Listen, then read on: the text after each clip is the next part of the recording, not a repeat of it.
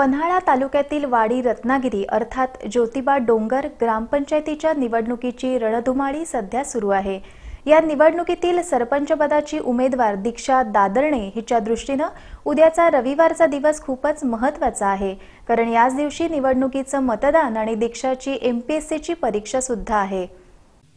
राजकारण हा आपला प्रांत नाही असं म्हणून अनेक सुशिक्षित तरुण थेट राजकारणात उतरायला नकार देतात. पण घरातच राजकारणाचं बाळकडू मिळालेली दीक्षा दादरने सध्या मोठ्या जिद्दीनं सरपंच पदाची निवडणूक लढवतीये. एम पी एस सीची परीक्षा देऊन प्रशासनात जाण्यासाठी गेले वर्षभर तयारी करत असलेल्या दीक्षासमोर सरपंच पदाची निवडणूक लढवण्याची सुद्धा संधी आली. ती सध्या या दोन्ही संधींना एकाच वेळी सामोरी जाते अधिकारी आणि लोकप्रतिनिधी या दोन्ही पर्यायातून जनतेची सेवाच करण्याची संधी मिळत असल्यामुळं सरपंच पदाच्या निवडणुकीतही उतरत असल्याचं दीक्षा दादरने हिनं एस न्यूजशी बोलताना सांगितलं. श्री ज्योतिबाई ते निव सरपंच पदासाठी निवडणूक लढवत आहे. मी एम पी एस सी करत असताना मला लोकसेवा करता यावी म्हणूनच मी स्पर्धा परीक्षेत उतरले होते.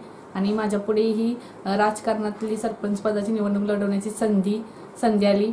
आणि मला दोन्हीतूनही लोकसेवाच करायला मिळत मिळणार आहे. त्यामुळेच मी ही संधी स्वीकारले सा- गावातील विविध समस्या असतील त्या सोडवण्या त्या सोडवण्यासाठी मला याचा फायदा होईल. तसेच स्पर्धा परीक्षा कर करत असताना सुद्धा लोकांची सेवा करण्याची मला संधी मिळाली असती. आणि याच्यातूनही मला तीच संधी मिळते म्हणूनच मी निवडणूक लढवण्याची तयारी दाखवली.